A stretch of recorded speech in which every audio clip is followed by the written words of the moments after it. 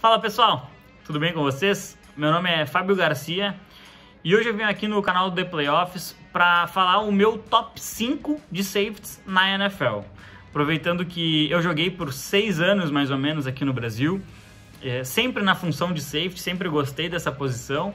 É, vamos debater quem são os melhores da liga atualmente, já projetando essa temporada que se aproxima e finalmente está chegando. Beleza? Solta a vinheta então e bora pro vídeo.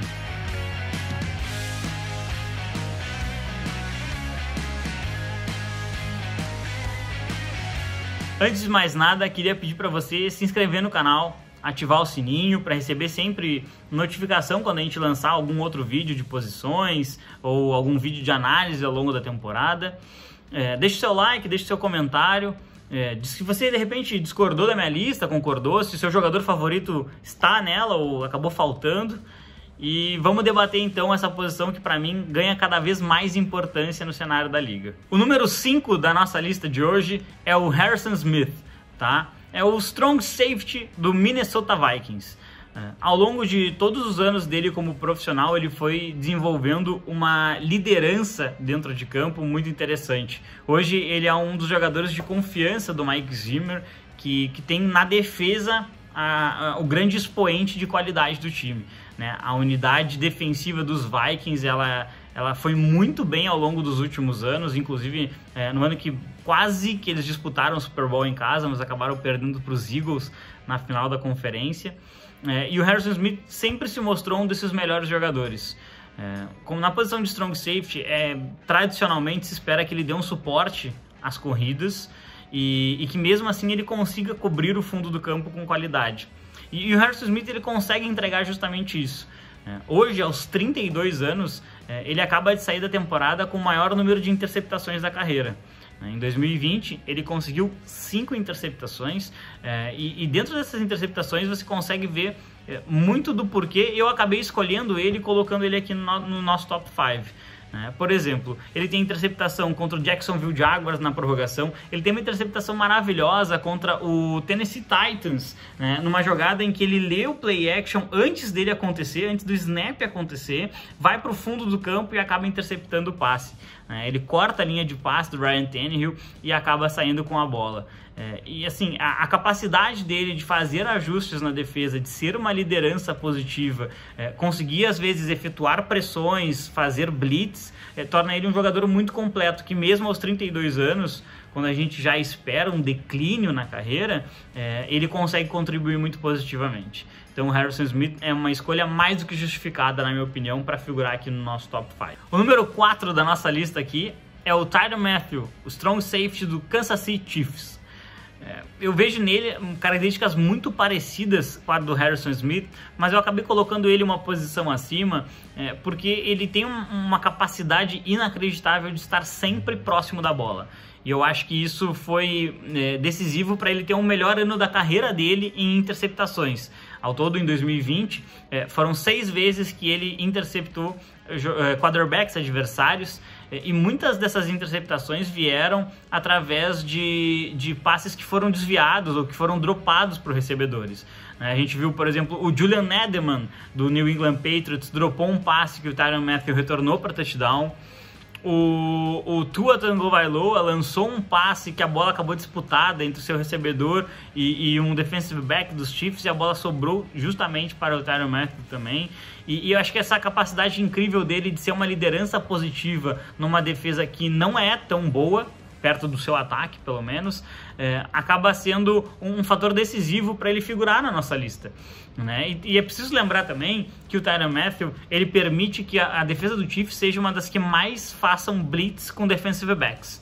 Algumas vezes ele mesmo vai na blitz, mas nas outras, alguns de seus companheiros entram na pressão e ele acaba tendo mais espaço ou mais jogadores para cobrir e faz isso com muita qualidade. É, é impressionante como ele consegue, por exemplo, é, bater no, no wide receiver ou no tight end sempre que a bola chega. E acho que essa essa grande capacidade dele de, de, de estar perto da bola fazer um jogador diferenciado. O jogador número 3 da nossa lista aqui é o sucessor do Tyron Matthew, pelo menos em função, lá no Arizona Cardinals. é o Buda Baker, né? Um jogador altamente explosivo que não é tão grande, mas consegue enfrentar qualquer jogador de ataque e, e ele faz isso com muita qualidade. Por que, que ele figura aqui como número 3? É, o Buda Baker ele tem uma produção muito, muito, muito grande no quesito tackles. Né? No, nos últimos três anos, ele ultrapassou a marca de 100 tackles na, na NFL. Isso para um defensive back não é algo tão simples de se fazer. E, e, ele consegue registrar sacks, ele consegue registrar pressões no quarterback, né? Hits, que é quando o, o quarterback faz o lançamento, mas mesmo assim ele acaba apanhando logo depois. É, e ele consegue muitos tackles for loss, porque ele patrulha muito bem essa linha de scrimmage. É, o, o, Buda Baker ele já faz aquela linha um pouco mais de um box safety, né? Que, que ele fica mais preso à linha de scrimmage, fazendo uma cobertura de uma zona não tão profunda. Mas quando ele precisa ir até o fundo do campo, ele faz isso com qualidade. É, e eu acho que a, a inteligência do Buda Baker é, faz ele de um jogador diferente, né? Quanto um dos lances mais icônicos da última temporada é uma interceptação dele é, e o lance ele ficou é, muito conhecido porque o DK Metcalf corre e tira uma distância inacreditável, uh, impedindo o touchdown, que seria uh, um retorno de praticamente 100 jardas do Buda Baker. É, e apesar da gente se impressionar muito com a, com a velocidade do Metcalf no lance, né? Porque realmente é impressionante, ele está muito distante e consegue ganhar na corrida do Buda Baker para aplicar o tackle. É, é, preciso reconhecer que o Buda Baker ele faz a leitura perfeita do Chris Carson saindo do backfield para receber um passe, ele antecipa pega a bola e faz uma jogada defensiva formidável. Né? Então, isso contra um adversário de divisão que estava lutando por playoffs também, é, no momento da temporada em que foi, é, é, algo realmente notável e acho que justifica, é, com o conjunto todo da obra, a posição do Buda Baker aqui como nosso número 3. Em segundo lugar no nosso ranking vem o Minka Fitzpatrick, safety que começou a carreira como profissional no Miami Dolphins e depois foi trocado lá para o Pittsburgh Steelers. Na minha opinião, foi onde ele encontrou o seu melhor jogo, para ser bem sincero com vocês. É, a presença, acho que do TJ Watt fazendo pressões, do Bud Dupree, que agora foi para o Tennessee Titans, mas jogou a última temporada pelos Steelers. É, e, e, posteriormente a chegada do Devin Bush no meio é, criou um core defensivo muito interessante. E aí o Minka ele aproveita muito bem esse front seven para acabar se posicionando de uma forma inteligente e, e aproveitar isso ao máximo. É, e eu acho que é esse posicionamento do Minka que faz ele um jogador diferente. É, muitas vezes as defesas elas acabam sendo abertas, né? Então abre um gap e o running back passa por esse gap visando anotar o touchdown. E o Minka ele é um dos poucos safeties da liga que, que ele espera o running back escolher o lado e depois ele ataca, porque aí ele permite que ele mantenha o melhor ângulo para dar um tackle. Né? Se ele ataca o running back de maneira precoce, é, muito possivelmente o corredor vai cortar em direção às costas dele e ter uma vantagem de posicionamento para chegar à end zone. É, eu acho que esse tipo de inteligência e capacidade de adaptação dentro do jogo faz o Minka um jogador absolutamente diferenciado. Na última temporada, ele garantiu uma vitória, por exemplo, para os Steelers, né, contra os Ravens na semana 8. Na última jogada da partida, ele disputa uma bola com o Mark Andrews no ar e impede a recepção. É, e, é, e, é, justamente isso que você espera de um grande jogador, né? Que ele seja decisivo em momentos decisivos contra um rival direto, porque os Ravens é, eram a maior ameaça é, ao Pittsburgh Steelers que estava invicto até o momento. Então, uh, o Minka ele foi absolutamente decisivo e é por isso que ele ganha aqui a medalha de prata no nosso ranking. Antes de falar do nosso campeão, aqui o eleito melhor safety da NFL, eu queria fazer três menções honrosas, porque são jogadores que são muito bons, eles conseguem exercer funções é, de uma maneira bastante variada e todas com qualidade. E acabaram não entrando na lista por detalhes e até uma pequena preferência pessoal mesmo. Né? Então aqui eu queria trazer o nome do John Johnson, que jogou os primeiros quatro anos dele como safety lá no Los Angeles Rams e agora assinou com o Cleveland Browns. Queria também trazer o nome do Jamal Adams, né, que jogava lá nos Jets, foi trocado por duas primeiras rodadas lá para Seattle.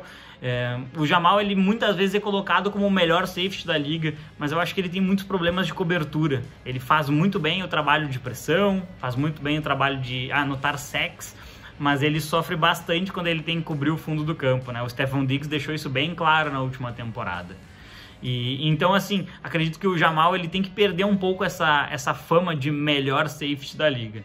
Né? E o terceiro nome que eu queria trazer é um jogador que merece mais reconhecimento, na minha opinião. O Jesse Bates, do Cincinnati Bengals, que é um jogador que mostrou muita capacidade de atacar a bola e atacar o recebedor no momento do passe. É, cada vez mais a liga é, ela acaba anotando faltas e tentando proteger a saúde dos jogadores. É, então é, é, uma qualidade que cada vez mais vai ser importante para um safety, né? Saber o momento certo de atacar sem cometer uma falta, porque você não pode atacar o capacete do adversário, você tem que sempre mirar no corpo, né? Para evitar que, que, que seja uh, marcada uma falta de 15 jardas e evitar também uma lesão à saúde do companheiro de profissão. Beleza? Feitas essas menções honrosas. Eu vou deixar também uma aposta para a próxima temporada, né? Depois de uma classe que não era nada badalada de safeties, eu queria trazer o nome do Javon Holland, que foi draftado lá pelo Miami Dolphins no início da segunda rodada.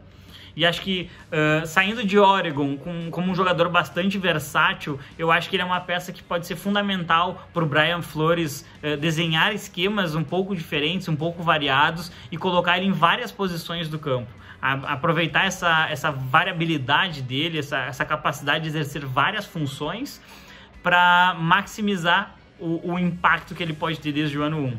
É um jogador que eu queria muito lá no meu Las Vegas Raiders, mas acabou que não, não chegou na escolha de na escolha de John Gruden, né? Então vamos lá, né? Vamos pro campeão. Quem é o melhor safety da NFL? Infelizmente para mim, um torcedor do Las Vegas Raiders, é um jogador do Denver Broncos, o Justin Simmons que acho que com a chegada do Vic Fangio só melhorou e só conseguiu produzir ainda mais. O Simmons ele ele consegue jogar mesmo que não seja feita pressão. É, eu estava analisando o vídeo dos jogadores né, para fazer esse ranking aqui e o, o, Simmons ele tem uma interceptação contra o Pittsburgh Steelers é, numa jogada em que o Big Ben teve mais de 5 segundos de pocket absolutamente limpo.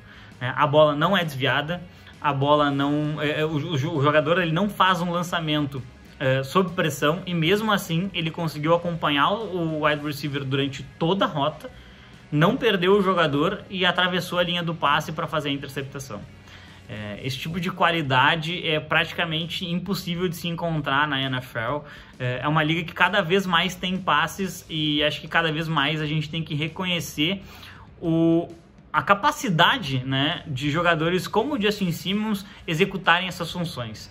É, ao longo de, de todo 2020, ele conseguiu bastante turnover, ele conseguiu desviar muitos passes, né? E é um jogador que ele tem desafios muito grandes ao longo da temporada, né? Ele tem que enfrentar duas vezes Darren Waller dos Raiders, ele tem que enfrentar duas vezes Travis Kelsey e Tyreek Hill, né? Junto com Patrick Mahomes. E ele tem que enfrentar também duas vezes o Keenan Allen, que não é nem um pouco fácil, principalmente agora com Justin Herbert lá em Los Angeles. É, então, assim, uh, acho que o, Justin Simmons ele, ele se mostrou tão bom que a equipe aplicou duas tags nele até conseguir renovar. E para mim, hoje é o melhor safety sim da NFL. E você, concorda? Discorda de mim? Deixa aqui nos likes, deixa aqui um, um comentário. Diz para mim, você acha que tem algum jogador que eu esqueci? Fica um grande abraço e até a próxima, gente.